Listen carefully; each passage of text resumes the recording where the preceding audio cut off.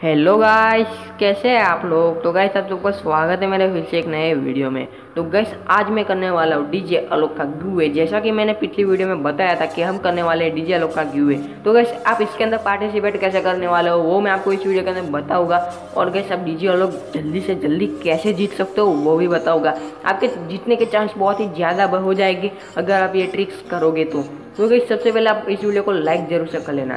Channel पे नए आते हो तो यार चैनल को ज़रूर से सब्सक्राइब करना और बेल आइकन प्रेस करके ऑल पे सेट करना ताकि मेरे हर एक वीडियो का नोटिफिकेशन सबसे पहले आपको मिल जाए। क्योंकि जब से पहले आपको नोटिफिकेशन मिलेगा तो आप सबसे पहले पार्टिसिपेट करोगे और सबसे पहले पार्टिसिपेट करोगे तो आपके जीतने के चांस बहुत ही ज़्यादा हो जाएँगे। इसलिए आपको बेल आइकन ऑन करके सबसे पहले ऑल पे सेट कर लेना है, ठीक है? उसके बाद हम बात करेंगे हमारे डीजे अलौकिक गिवे के बारे में। तो वैसे अभी डीजे अलौकिक गिवे में आप पार्टिसिपेट कैसे कर सकते हो? तो गैस आपको क्या करना है? जो मैं आपको कोड दूँगा, ठीक है? एक कोड दूँगा, वो आपको डालना है और डैश करके अपना जी मेल डाल देना है। बस इतना ही करना है, ठीक है? बस इतना ही करना है। सिर्फ़ मैं आपको कोड दूँगा, वो डालना है। और आपको अपना जी मेल आई डाल देना है। बस इतना कर से करने के बाद आपको मिल जाएगा डीजे आलोक ठीक है? जो भी विनर होगा, उसको डीजे आलोक मिल जाएगा। तो गैस इसके बाद में हम बात करते हैं हमारी गन के चेंजेस के बारे में। यानी कि हमको कुछ गन के अंदर थोड़ा सा थोड़ा सा चेंजेस देखने को मिलने वाले हैं। तो गैस सबसे पहले हम बात कर लेते हैं हमारे एम टू फोर नाइन के बारे में। तो guys M two four nine के अंदर हमको रिक्वायल माइनस देखने को मिल रहा है। यानी कि हम एक ही बार में जितना भी गोली वेस्ट करते हैं। यानी कि एक ही बार में चला देते हैं पूरी गोली। तो आपको पता ही होगा, हमारा सर्कल बड़ा हो जाता है। तो आपको गोली भी वैसे तैसे आजू बाजू चली जाती है। तो गैस वो कम होने वाला है, ठीक है? आजू बाजू बहुत नहीं जाएगी और सीधे एम के ऊपर जाएगी। छः सात गोली के बाद ही आजू बाजू जाएगी और इसका एक्वीरेंसी प्लस होने वाला है। यानी कि इसका वेस्ट जल्दी डैमेज हो जाएगा सामने वालों का। एक्वीरेंसी प्लस का मतलब है सामने वाले का वेस्ट जल्दी डैमेज हो जाएगा। तो गैस इसके साथ हमको एक्सेमेट के अंदर भी चेंजेस देखने को मिले तो गैस आपको पता ही होगा कि O V twenty two update के बाद हमारा एक्सेमेट है, वो एकदम पावरफुल हो चुका है, ठीक है? एकदम पावरफुल हो चुका है।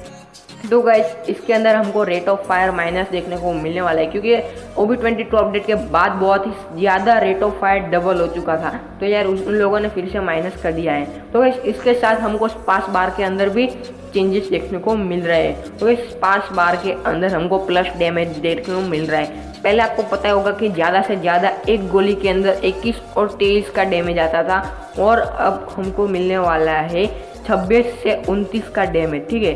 अगर उसके पास एक भी लेवल का वेस्ट नहीं हो तो कैसे ये बहुत ही अच्छी बात होने वाली है शॉर्ट गन प्लेयर के बारे में, क्योंकि यार इतना डैमेज कोई भी नहीं देने वाला है गन तो गैस अभी हम बात कर लेते हैं हमारे व्हीकल के स्पीड के वाले में. तो गैस व्हीकल के स्पीड के अंदर भी चेंजेस हुए तो गैस व्हीकल के स्पीड के अंदर सबसे पहले आता है मोटर बाइक यानी कि हमारा जो बाइक है, उसके अंदर कुछ चेंजेस हुए उसका सबसे पहले हाई स्पीड था ओल्ड के अंदर 120 अभी हमारा जो अपडेट आएगा, उसके बाद उसका 130 किमी पर हवर होने वाला है।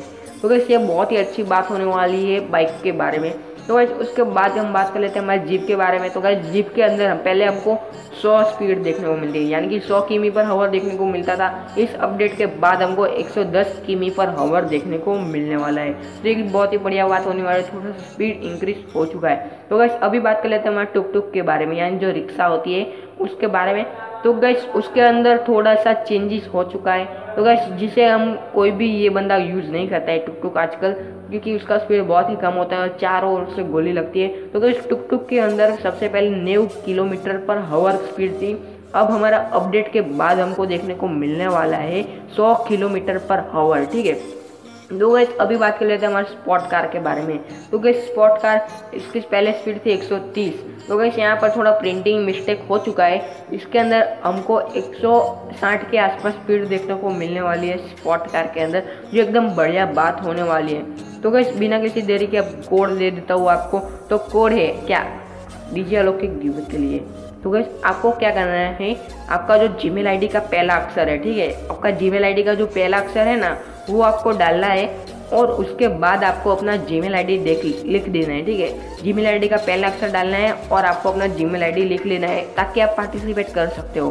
तो गैस अभी बात कर लेते हैं हमारा थर्ड एनिवर्सरी के बारे में। तो गैस थर्ड एनिवर्सरी पर हमको क्या क्या देखने को मिलने वाला है? तो गैस सबसे पहले हमको मिलने वाला है फ्री में इलाइट पास ठीक है?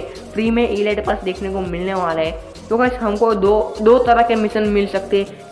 या तो लॉगिन रिवॉर्ड के ऊपर हमको देखने को मिल सकता है, या कुछ किल करने के ऊपर हमको देखने को मिल सकता है हमारा इलाइट पास जो एकदम बहुत ही अच्छा होने वाला है। तो उसके बाद हम कर लेते हैं हमारा जो दूसरा अपकमिंग इवेंट होने वाले हैं। अगर आपको थर्ड एनिवर्सरी के फुल डिटेल चाहिए, ठीक है? थर्ड एनिवर्सरी के ऊपर आपको फुल डिटेल चाहिए तो मैंने डिस्क्रिप्शन के अंदर लिंक दिया हुआ है। एक बार ज़रूर से चेकआउट कर लेना, ठीक है? तो गैस अभी हम बात कर लेते हैं हमारे थर्ड एनिवर्सरी के ऊपर जो और रिवॉर्ड मिलने वाले उसके बारे में।